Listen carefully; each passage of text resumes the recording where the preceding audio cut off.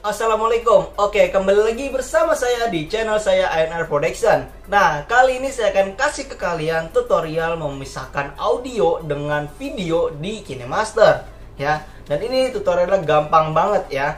Oke jangan lupa untuk di like, di subscribe dan juga dinyalakan loncengnya Agar kalian tahu tutorial terbaru dari saya. Oke langsung aja masuk ke tutorialnya. Let's go.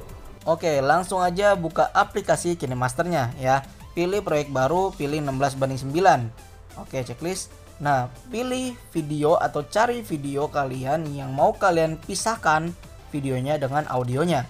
Pilih media, cari video kalian yang mau kalian edit untuk dipisahin audionya. Ya. Nah, ini misalnya seperti ini, kita checklist. Nah, di sini kan pasti ada audio atau suara saya ya. Saya mau ganti misalnya jadi musik atau video suara saya jadi ilangin misalnya. Pilih videonya ya uh, terus cari di bawah sini ekstrak audio. Eh sorry. Nah di sini jadi dia misahin nih. Ini video ini audionya ya. Uh, oke. Okay. nah ini bisa dipisahin nih. Itu nah ini bisa kalau misalnya kalian videonya nggak sesuai dengan suara mulut kalian kalian bisa klik tahan dan geser sesuka hati kalian. Di mana nih kira-kira yang ngerasa kurang pas ya? Baru kalian bisa geser atau misalnya di sini nih kalian geser lagi kayak gitu ya.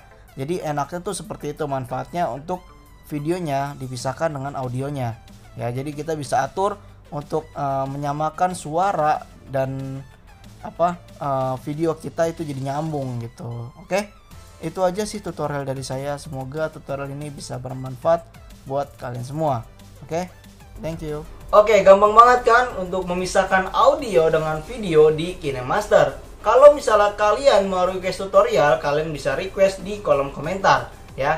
Oke, saya Anil bisa di channel saya Android Saya pamit.